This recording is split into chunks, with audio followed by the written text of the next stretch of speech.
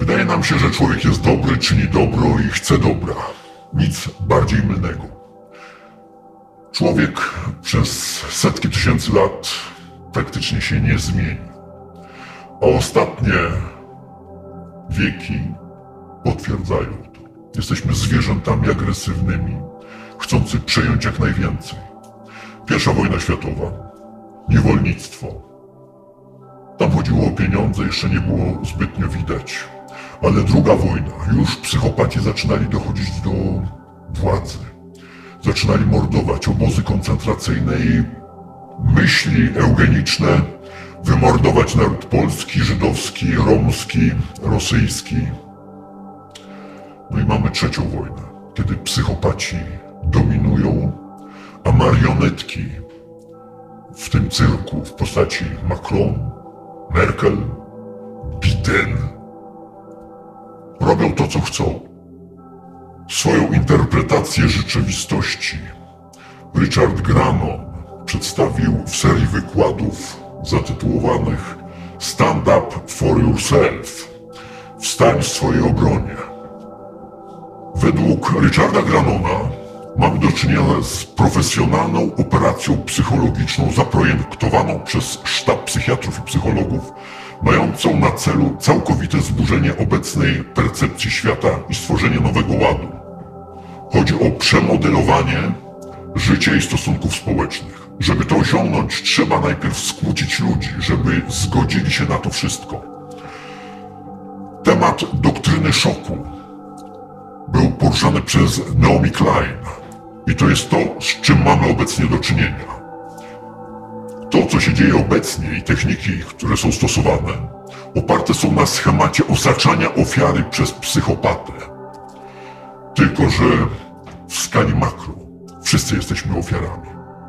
Będziemy ofiarami jeszcze przez kilka lat. Dlatego ważne jest, żeby wiedzieć, jakiej psychomanipulacji jesteśmy poddawani, a także jak się przed tym bronić. Przedstawię teraz kilka technik, które są stosowane. Gaslighting zaburzenia percepcji rzeczywistości. Ta technika polega na wmawianiu ofiarom, że rzeczywistość, którą widzą, nie jest prawdziwa. Cechą naturalną każdej epidemii jest to, że ludzie najpierw obserwują pewne zjawiska, a potem zaczyna się mówić o nich w mediach. Tutaj jest odwrotnie. Żyliśmy normalnie i gdyby nie powiedzieli w środkach mass mediów, że jest jakaś tam epidemia, to nikt by tego nawet nie zauważył. Przechodzilibyśmy jak dotychczas normalnie sezonowe okresy przeziębień i uważalibyśmy to za normalne. Gaslighting doprowadził do tego, że znaczna część społeczeństwa zaczęła postrzegać choroby sezonowe dróg oddechowych jako śmiertelne zagrożenie. Gdyby ktoś rok temu powiedział lekarzom, że będą zamykać przychodnie, bo mogą do nich przyjść chorzy ludzie, to puknęliby się w głowę. Teraz jednak stało się to częścią nowej rzeczywistości i zaczyna być uważane za normę. Zauważcie, że mnóstwo rzeczy, które jeszcze rok temu uważaliśmy za niemożliwe, stały się normalnością. Już nawet przestajemy kwestionować absurdy, które mnożą się z dnia na dzień. Wymuszanie narracji, czyli zdominowanie dialogu społecznego. Wymuszanie narracji polega na nieustannym bombardowaniu ofiary określonymi informacjami. Działa to na zasadzie kłamstwa, które powtarzane tysiąc razy staje się prawdą. Pan Goebbels tutaj mógłby się uczyć od obecnych mistrzów. Nawet ludzie, którzy na co dzień kierują się rozsądkiem, zaczynają ten rozsądek tracić. Zaczynają myśleć, może jednak to jest epidemia. Trzeci sposób to przepowiadanie przyszłości. Kreowanie wizji świetlanej przyszłości, która nastąpi po pokonaniu jakiegoś schorzenia epidemicznego. Ale jeszcze musimy chodzić w maskach, jeszcze musimy zostać w domu, jeszcze musimy się zaszczepić. To jeszcze tylko dwa tygodnie. Zauważcie, że minął rok od kiedy zostaliśmy zamknięci na dwa tygodnie. I granica świetlanej przyszłości coraz bardziej się przesuwa. Wszystko co dobre ma zdarzyć się w przyszłości, która ciągle jest odsuwana w czasie i która tak naprawdę nigdy może nie nadejść. Ale tego wam wprost nie powiedzą. I ci rozsądni ludzie zaczynają myśleć, może rzeczywiście to pandemia. Następna technika to obwinianie ofiary. Psychopaci nigdy nie przyznają, że to oni są winni doprowadzenia ofiary do sytuacji bez wyjścia. Nigdy nie przyznają, że to oni stworzyli sytuację, w której ofiary cierpią. Zamiast tego będą wmawiać ofiarom, że to one są winne obecnego stanu rzeczy. Mówią, my chcieliśmy dobrze, ale to wasza wina, bo chcecie jeździć na urlopy, bo chcecie się ze sobą spotykać, bo chcecie obchodzić święta. My chcemy dobrze, ale to wasza wina, że się nie stosujecie. Prowadzi to do sytuacji, w której ofiara zaczyna postrzegać swojego oprawcę jako wybawcę z obecnego stanu rzeczy. Ofiara oczekuje, że oprawca znajdzie jakieś rozwiązanie. W ten sposób buduje się uległość. Następna technika to izolacja. Izolacja jest najlepszą metodą złamania psychiki. Izolację od lat stosuje się w więziennictwie wobec najgroźniejszych przestępców i więźniów. Jest ona uważana na, za, wśród więźniów za najgorszą karę. Izolacja prowadzi do rozmontowania psychiki, zakwestionowania poczucia własnej wartości, utraty poczucia sensu życia. Ofiara, pozbawiona kontaktów społecznych, popada w apatię i z czasem zgodzi się na wszystko, by zmienić obecny stan rzeczy.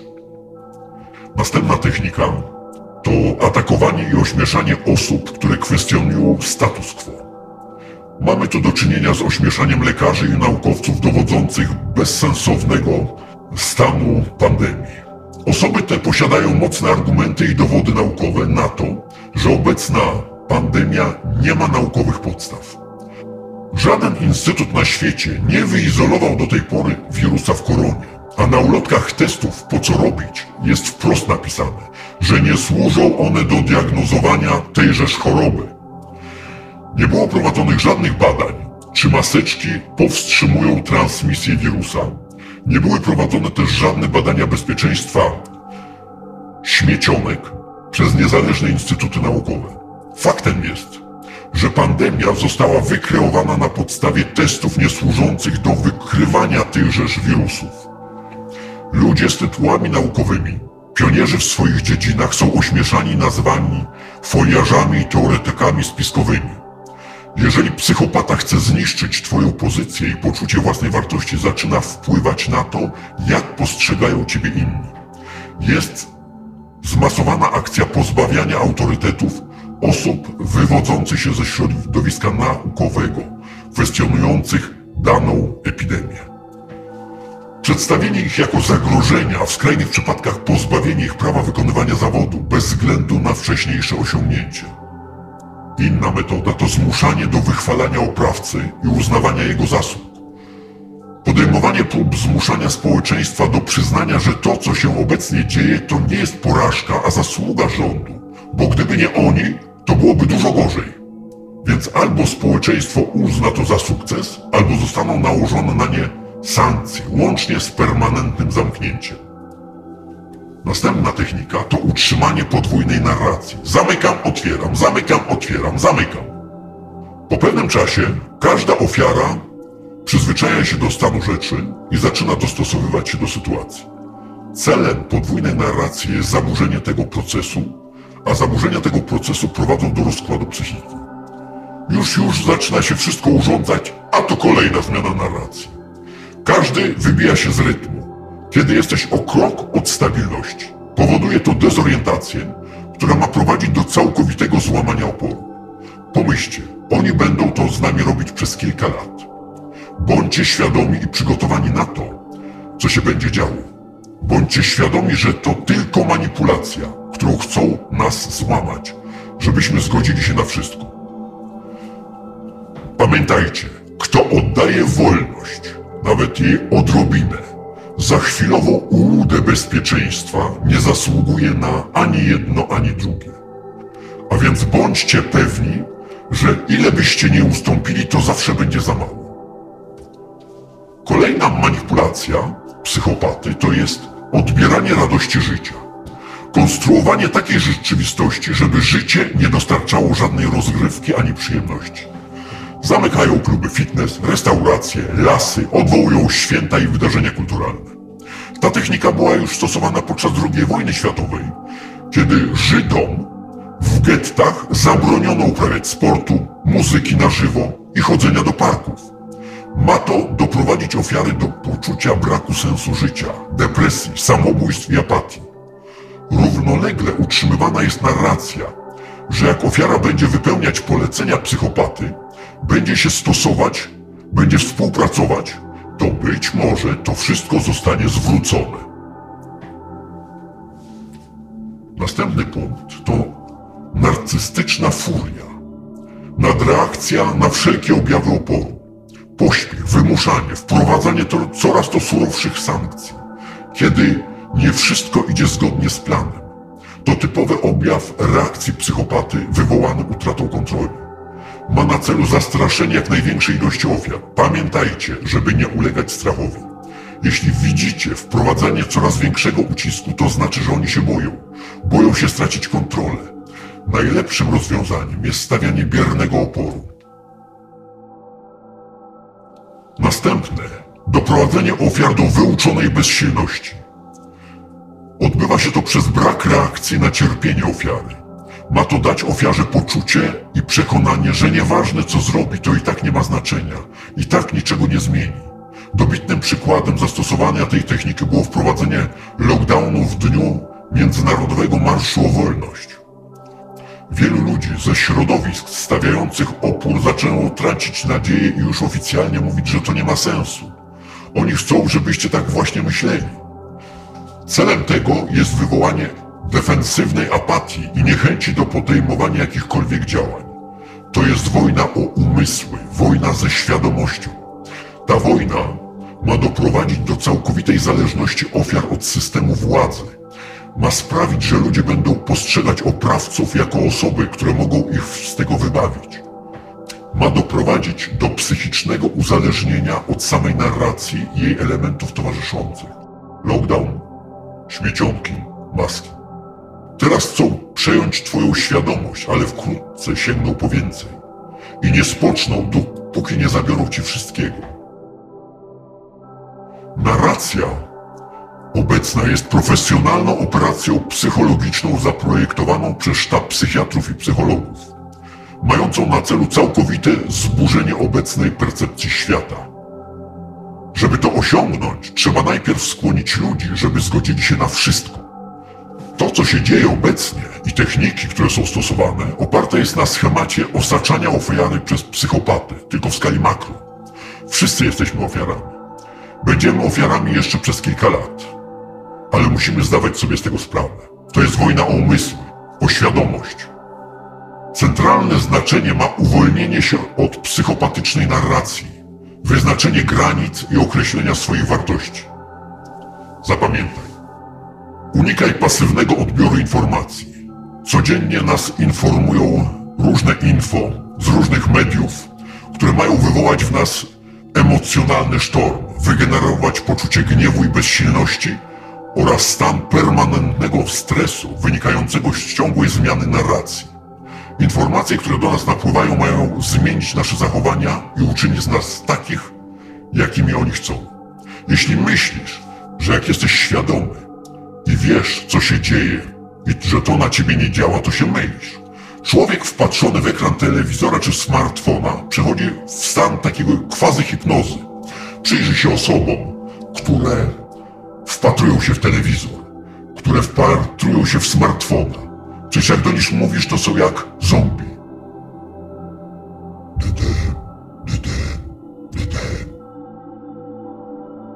Z nimi nie ma kontaktu. Czasie ich mózg zaczyna pracować, jak się oderwał od tego hipnotyzującego ekranu. To jest programowanie podświadomości. Zauważyłeś, że przeglądając takie treści, czy nawet anty, niespostrzeżenie mija ci kilka godzin, a po skończeniu masz uczucie, jakbyś był zawieszony w czasie. Pomijając już podły nastrój, jaki towarzyszy ci po zmarnowaniu kilku godzin. Co zatem robić? Ogranicz czas, który przeznaczasz na obserwowanie przekazu medialnego. Wyznacz sobie ramy czasowe. Ile możesz spędzić przed telewizorem, Facebook? Jeśli już chcesz coś oglądać lub czytać, rób to świadomie. Nie rób kilku innych rzeczy naraz. Skoncentruj się na jednej kwestii. Równoczesne jedzenie, sprzątanie, oglądanie telewizji, przeglądanie Facebooka stwarza idealne warunki do programowania podprogowego. Dlatego, że umysł nie jest w stanie skoncentrować się na jednej informacji i całą resztę napływających bodźców rejestruje podświadomie. Najlepiej byłoby odciąć się od tej narracji, ale wszyscy wiemy, że w dzisiejszym świecie jest to nie do wykonania. Używaj technik szarej skały. Okaż im obojętność i rób swoje. Psychopaci karmią się naszymi reakcjami, naszą uwagą. Jeśli nie będziemy reagować, poszukają sobie innej ofiary. Nie będą mieli wyjścia. Odetnij się psychicznie i emocjonalnie od reakcji, jaką chcą wywołać u ciebie. Cokolwiek chcieliby sprowokować, zachowuj cierpliwość i ignoruj. Stosuj bierny opór. Kiedy społeczeństwo zastosuje bierny opór, oni stracą władzę. Jest nas za dużo. O wiele prościej jest złamać czynny opór, czyli manifestację, niż opór bierny polegający na zachowaniu cierpliwości i ignorowaniu absurdów. Wyznacz sobie granice, których nie przekroczysz. Psychopaci nakłaniają nas wszelkimi sposobami do przejścia na ustępstwa i tym samym przesuwają naszą granicę coraz dalej i dalej. Najpierw daliście się zamknąć dla świętego spokoju. Potem nosiliście maseczki dla świętego spokoju. Teraz dajecie się szczepić dla świętego spokoju. Ile jeszcze jesteście w stanie poświęcić dla świętego spokoju? Za każdym razem, kiedy przesuwasz swoją granicę, tracisz szacunek dla siebie. Zauważ, że za każdym razem, kiedy godzisz się na ustępstwo, umiera coś w tobie. Im o to chodzi, żebyśmy stracili całkowicie szacunek dla samych siebie. Żebyśmy czuli się bezwartościowi. Zapamiętajcie jedną zasadę. Z tyranem się nie negocjuje. Czy rząd USA z terrorystami negocjował kiedykolwiek cokolwiek? Więc uczcie się. Uczcie się z góry. Tyran chce wszystkiego i sięgnie po wszystko. Ugłaskać tyrana ustępstwami można tylko na jakiś czas, po czym tyran i tak sięgnie po więcej. Wyznacz swoje granice i ani kroku w tył. Tylko tak zachowasz swoją integralność, poczucie z własnej wartości i człowieczeństwa. Poszukaj sobie celu, który będziesz realizował, który będzie cię inspirował i motywował. Nie czekaj, aż to się skończy. Takie czekanie prowadzi do apatii, utraty chęci do życia i wyuczonej nieudolności. Masz ogródek? Działaj w ogródku. Panowie, samochody macie? Subwoofer? Szyberdach? Muza na full i gaz do dechy. Motomyszy z Marsa, tak? Pokażcie panowie, że wy potraficie nieść radość. Pokażcie, że macie duże włochate kochonas, a nie małe gołe orzeszki. Przecież to do was, panowie, 20-40 lat. Należy przyszłość. Wy budujecie przyszłość dla swoich dzieci, a moich wnuków. Spójrzmy, panowie, czy to czasem kobiety nie mają większych jaj w tym biernym oporze, w tej manifestacji przeciwko psychopatom. Były ciężkie czasy. Kozakiewicz też potrafił. Pamiętacie? Wielka Rosja, mała Polska. I zajączek miał skurcz mięśnia. Ustal swoją filozofię życia. Jeśli tego nie zrobisz, będziesz tylko dryfował i robił to, co robią inni. Jeśli obecnie masz depresję, to znaczy, że nie podejmujesz własnych decyzji i że inni decydują za ciebie. Depresja nie jest chorobą, jest sygnałem, że coś w życiu nie funkcjonuje. I zamiast łykać psychotropy, należałoby się zastanowić, co nie funkcjonuje. Zaufaj swojej intuicji. Jeśli wydaje ci się, że coś jest nie tak, to właśnie tak jest. Jeśli intuicja ostrzega cię, żebyś czegoś nie robił, to nie rób tego. Po prostu odejdź. Zaufaj swoim uczuciom i emocjom.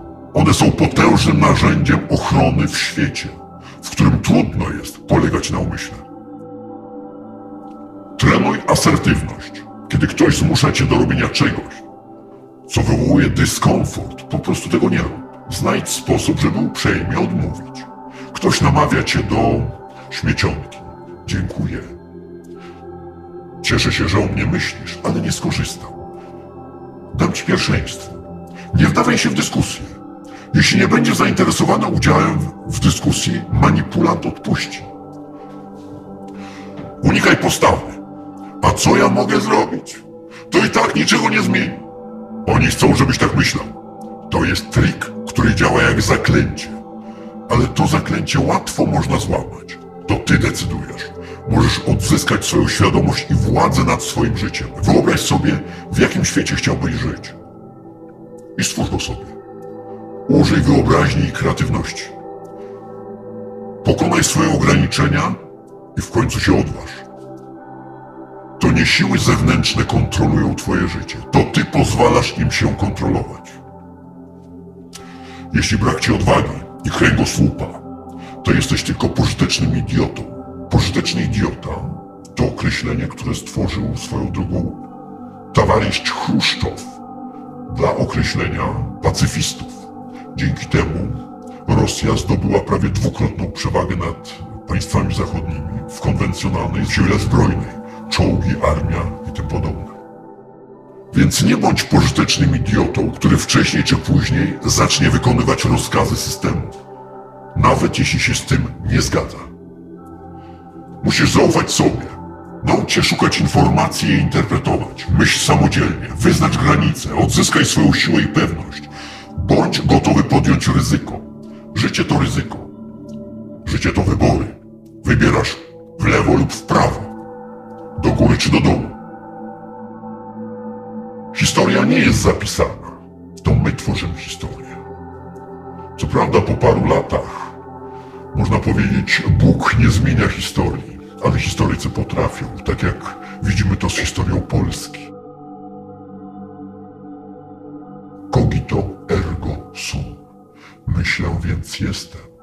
Ale żeby to się stało, musi być dubito ergo sum. Wątpię, więc jestem. A więc musicie zwątpić w tą narrację psychopaty. Musicie podjąć rękawice. Bóg dał nam rozum i wolną wolę. Jak się bronić przed chorobami, co robić, powiedziane nam było. Pismo Święte. Jesteśmy chrześcijanami, tak? Więc wykonujmy to, co tu jest powiedziane. Dekalog. Czy będzie to Tora, czy Talmud, czy Koran? Każda wiara ma podobne założenia. Dekalog został nam dany. Zwróćcie uwagę. Jest jeden Bóg. Będziesz miał bogów cudzych przede mną. Więc to ma być Bóg, a nie psychopata, który wam nakazuje, co macie robić i jak się zachowywać. Pismo Święte mówi, jak macie się zachowywać. Pamiętaj, abyś Dzień Święty święcił. Naprawdę pisało w oryginale dzień, dzień sabatu. Nieważne jaki. Macie jeden dzień. Odpuścić sobie wszystko.